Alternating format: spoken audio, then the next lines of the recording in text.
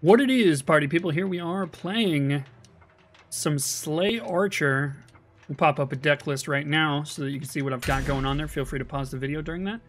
And uh, basically, this was my daily quest, so I thought that we would throw down with some Slay Archer. Uh, we are up against, going second with Ring, of course, Supreme Alpha the Conqueror running a mage deck. Um, mulligan almost literally everything. Uh, that's not terrible. um, pulling Tazkad could have happened later in the game, I think. Uh, we're ranked number 1535, going up against an 1825. We're going to pop that ring and drop our Thieves Guild recruit in the field lane.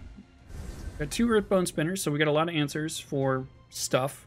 Uh, I've got to be sure not to use those too early on.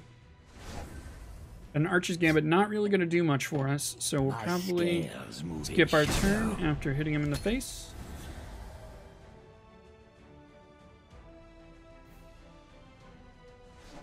And we're, we're playing this deck rather aggressively. Alright, so they've got a Firebolt. They can't use it right now, but of course I got to imagine that they'll use it next turn, potentially. We're not going to play the Moonlight Werebat because of that. Um, let's see. Could get him out of there, but that's not really helpful. Uh, silencing her doesn't really do much.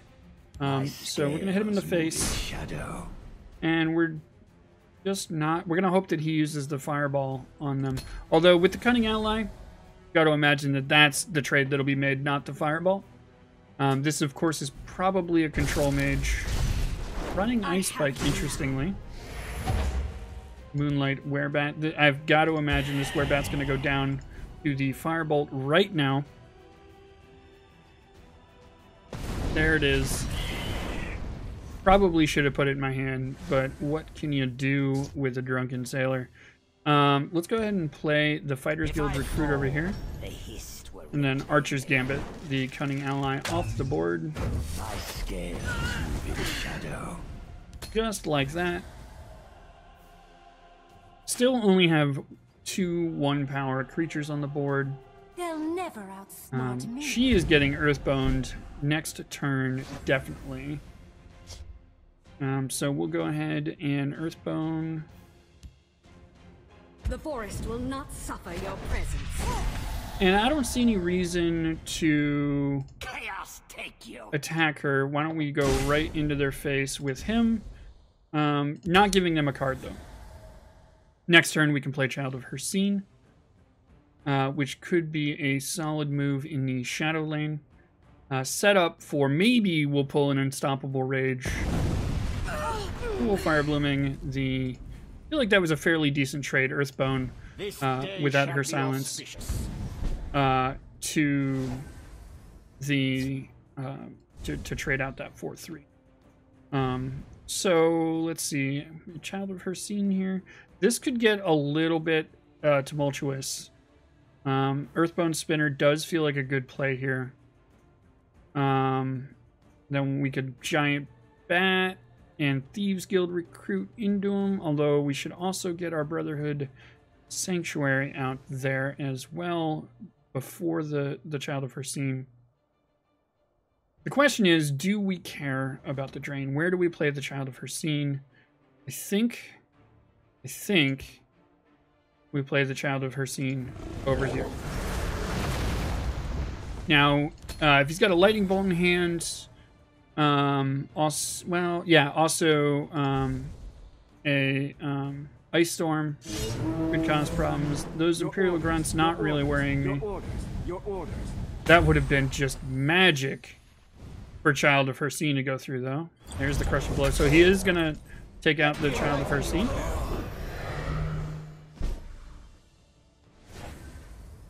Quicksilver Crossbow not really doing a ton for us right now. Um, Giant Bat also not doing a whole lot for us.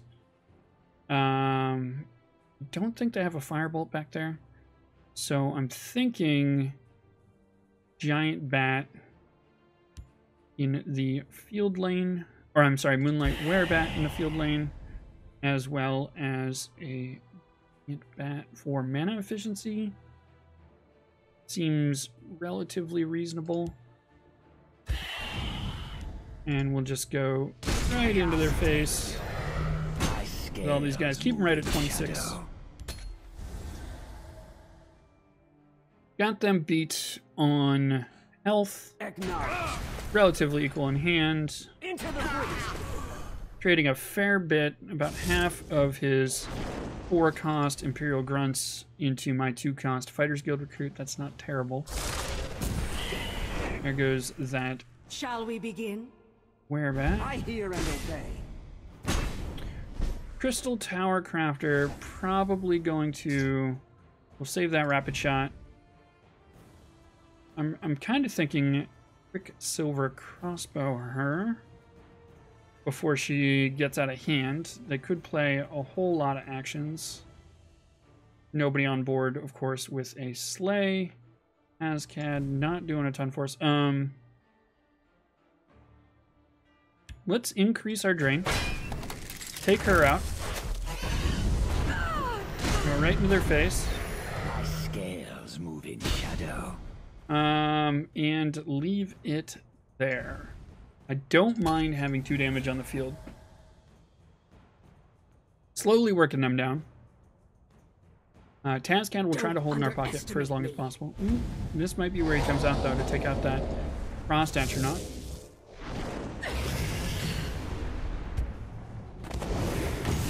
Knocking Wamasu taking us out, so Tazkad feeling relatively solid here. No lethals, of course, on board. Could silence him. I mean, there's there's not a whole lot of reason to. Um, feeling Tazkad here.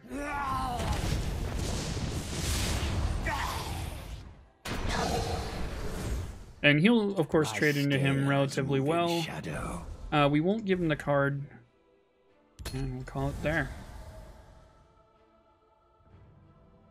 Slightly ahead on life, slightly ahead on board, although that's about to equalize. Uh, and just a little bit behind on hand. Believers shall flock to our noble cause. When you play an action, summon a random creature from your deck with the same cost. Um, so let's see if he plays a five cost action. Desperate Con Conjuring Interesting. So he's gonna get... Oh, that is not good. That is not good in the slightest. Stendarr will protect me.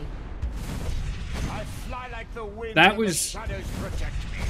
Quite literally I hear and obey. one of the best things that they could have done. Now, Unstoppable Rage here on Tazkad is absolutely, absolutely awesome. We only have 13 health left. Um, can we buff him at all? Not really. No, we can. We can Quicksilver Crossbow. Get him to 7. That's going to increase our total damage by 4. Uh, let's go ahead and take out one of these Imperial Grunts. And Unstoppable... Uh, let's go into their face. Let's hope for no prophecies. No whammies. And boom. Taking them down to 2 health, they land a prophecy. Uh, we do have Archer's Gambit. Of course. Nice, nice move. Um... Ooh, this is not a great situation. We can rapid shot. Okay, we can we can get the damage down to five. Dealing a rapid shot, and the, the Durzog, of course, can take him out if he doesn't have an answer with a guard in that lane. Uh, the Battlefield Scrounger, of course, has got charge, so if he can't kill me this turn, or he can't get two guards, like a guard in each lane, then we should be in good shape. Could also... Well, we can Archer's Gambit for one. He's, he's really got to think out his turn here. This is where that uh, Rage Archer is an absolutely devastating combination. Tazkad Raged. Man, the fury that must be going They'll on on the other side. me. Okay, not worried about that. Not worried about that. Let's Gonna do two damage to me with the past. fi- fireball that hits um, the Durzog.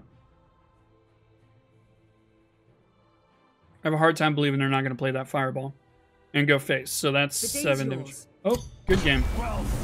They knew there would be. I had that battlefield scrounger, of course. He was going to cause some woes there. Got a couple of things. Jumped to Legend 1486. Not bad. I think something like 100 ranks. I can't quite remember. And we got 15 gold and an Ancient Lookout.